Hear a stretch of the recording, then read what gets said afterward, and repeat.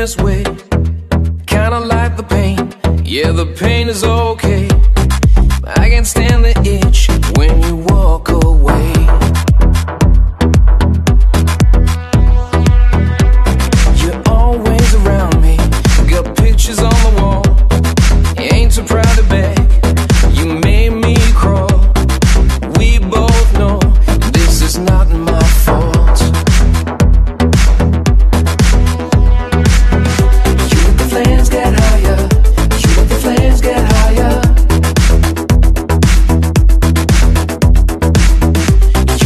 hands get higher.